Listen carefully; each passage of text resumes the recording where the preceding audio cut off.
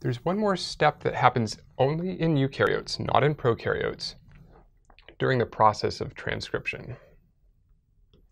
And that is, aside from what we just learned about during the control of transcription initiation and termination, that eukaryotes add a 7-methylguanosine cap to the 5' end of a transcript. And when transcription is complete, then poly A polymerase adds a 3' AAAAAA, etc. tail to the end of a transcript. By the way, both of those again are important for the stability of the messenger RNA molecule. The 5' 7-methylguanine cap, guanosine cap, and the length of that 3' tail protect both ends of the transcript from being chewed up or degraded.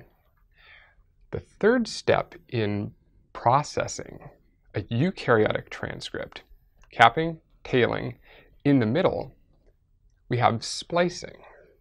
And that's the topic for this video. This is eukaryote specific again. And what this entails is some scientists at some point realized that if you looked at the primary transcript, that is the initial RNA molecule that's produced by the RNA polymerase molecule in the nucleus, it was maybe this long. But when they looked at the same transcript once it made it out of the nucleus into the cytoplasm, which is where translation occurs,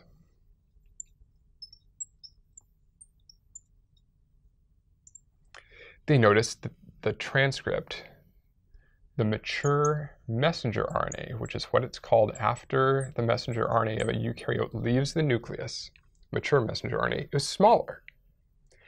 And if you looked at the DNA sequence or the RNA sequence,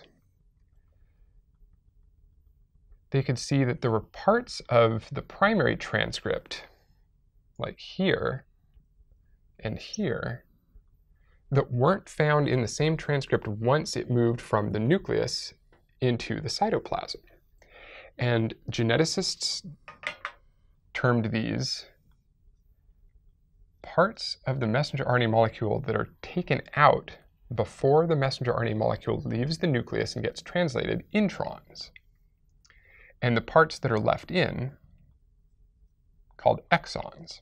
So in this case, I've diagrammed a gene that has one intron, which we'll call I1, and two exons, exon 1 and exon 2.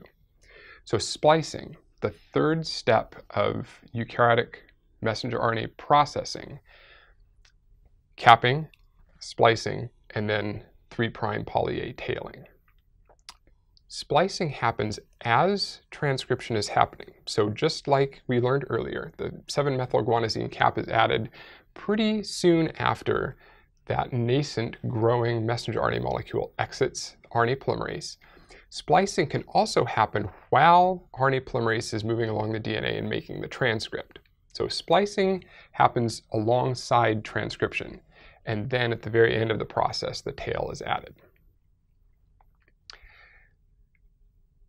there are not every gene gets spliced. So some genes don't have introns.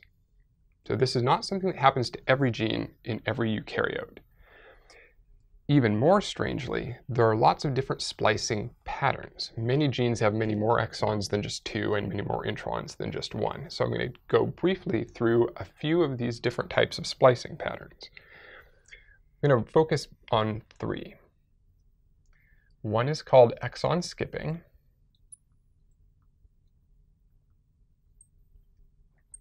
One is intron retention.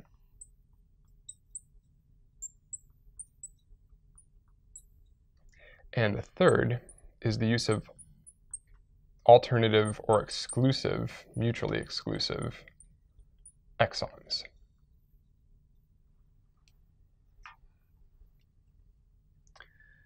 So we could have an RNA molecule. This is how introns are usually denoted. So here's a messenger RNA molecule transcript.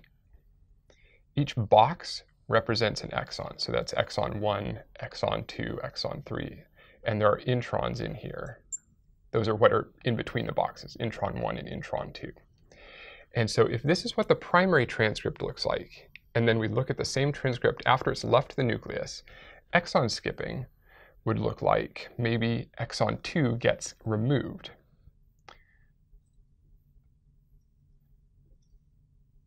Along with the two introns, say. So then we'd have a mature messenger RNA molecule that has exons 1 and 3. Exon 2 has been skipped, but both of the introns have been removed. And again, that process of removal of introns and sometimes exons is called splicing. Sometimes an intron will get left in. So if we start with the same initial molecule, three exons and two introns, we might find a, a mature messenger RNA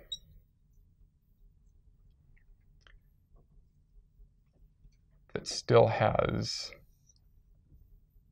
intron 1. So it's got exon 1, exon 2, exon 3, but now an intron has been retained. Not all of the introns have been removed. Then there's a case of mutually exclusive exons, where you might find that either exon 1 or exon 2 gets used, but never both.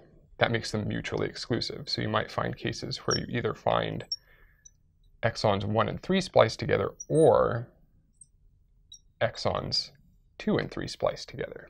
So it's like the cell is choosing, you get to pick either exon 1 or exon 2, but never both to wind up in the mature transcript.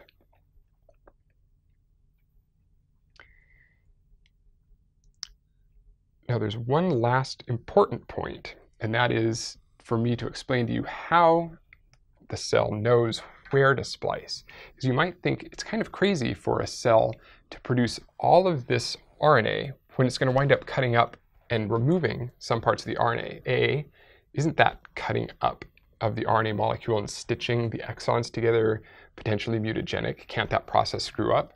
Yes, absolutely it can. So the good news and the reason that geneticists think that eukaryotes do splicing is because it lets you take one gene and produce multiple different types of proteins from the same gene. So it's a mechanism of generating diversity. On the other hand, yes, it could be mutagenic and the process can screw up. So it's really important that the cell get splicing right. And here's how a cell knows where an intron is located. So let's say this is the 3' end of an exon. We'll call that exon 1. And here's the 5' end of exon 2. There is a specific set of sequences that are located, remember this is messenger RNA, in the transcript.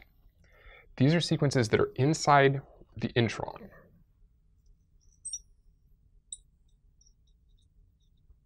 Every intron, the consensus sequence, remember that means that this is not necessarily always exactly the sequence, but it's always approximately this. The 5' end of an intron always has a G and a U, or almost always has a G and a U. Somewhere in the middle of the intron, there will be an A. That's called the branch point. And the very 3' end of the intron usually ends in AG.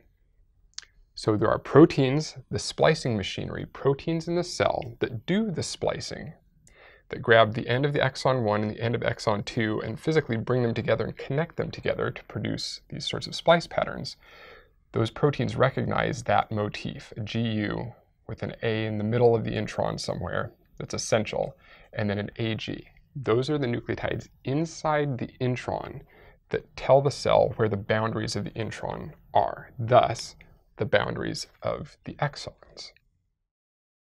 When I was drawing alternative splicing, I should have mentioned explicitly that, of course, it's possible that exons 1, 2, and 3 get spliced together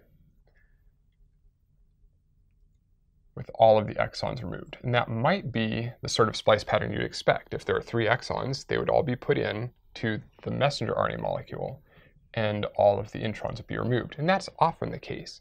But as I said, many proteins undergo exon skipping, intron retention, and so forth to generate diverse proteins that are produced by translation of these various RNA molecules.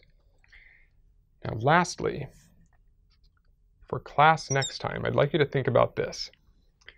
If there is a primary transcript before splicing that has three exons and two introns, given the types of splicing patterns that we can have, how many intron 1, intron 2, how many different processed transcripts, messenger RNA molecules, can be produced from this simple transcript, three exons, two introns, after splicing.